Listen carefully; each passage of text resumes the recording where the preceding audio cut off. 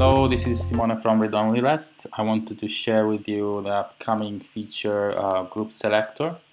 It's um, um, it's basically building on top of the multi-tenancy uh, feature that uh, been released like few uh, maybe last week for enterprise. Um, I'm gonna show you uh, what it's all about in a second.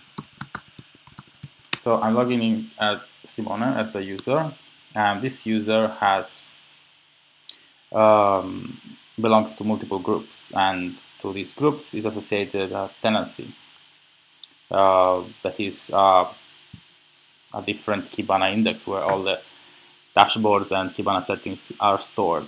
For example, now I am in my personal, um, I'm, I'm, seeing my personal dashboards and everything. Uh, so this is my dashboard but if I select to see to become you know infosec group I can see I'm basically switching the Kibana index um, to see all these other dashboards.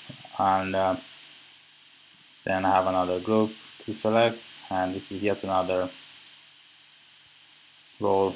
So as you can see there is um, I'm basically skipping the part in which I would log out and log in as another user. I'm still the same user, but I'm associated to different groups.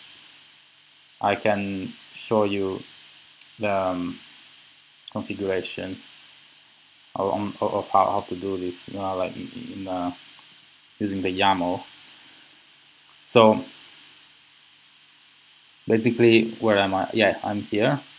This is my username and password and I belong to these three groups and these three groups are defined using rule blocks. So personal is basically using the Kibana index named after the logged in user. So that will be dot Kibana underscore Simone in my case.